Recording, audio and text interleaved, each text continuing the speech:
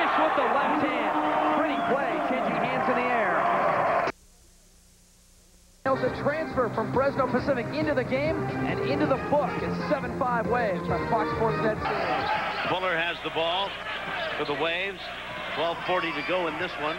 Trojans trying to win their seventh without a loss. Whoa, a little goal. He's able to get that one back. Taken away by Buller. Has done a great job off the bench for Pepperdine.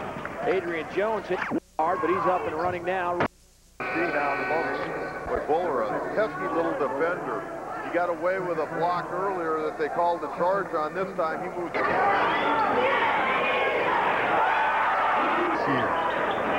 Season high, 29.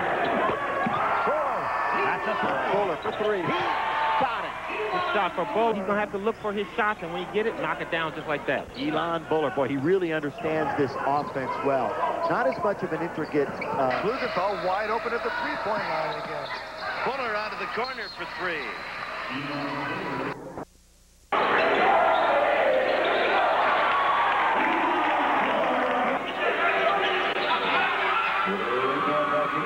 got to find somebody that's going to penetrate this thing and make something happen. There goes Elan Buller. He's got four.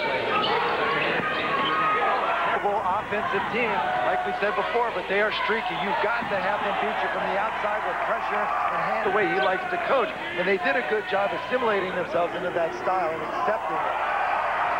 Armstrong will get it back and almost a spectacular putback. The hands by Armstrong. He tried to steer it in with his right hand. That ball is right there on the money to be able to put it in. He's usually the shooter because he knows where his ball is going to go, and he's able to get that one back. Taken away by Buller. Has done a great job off the bench for Pepperdine. He really comes in and gives this team a spark. You know what? They play good individual defense, but all of a sudden he'll sneak in and leave his man with the run and jump, run and jump type of defense as he comes up with another steal. Buller with another takeaway. Armstrong Finally gets the handle. Inside. Oh, taken away. Good defense by Buller. Buller out to Armstrong. Got it.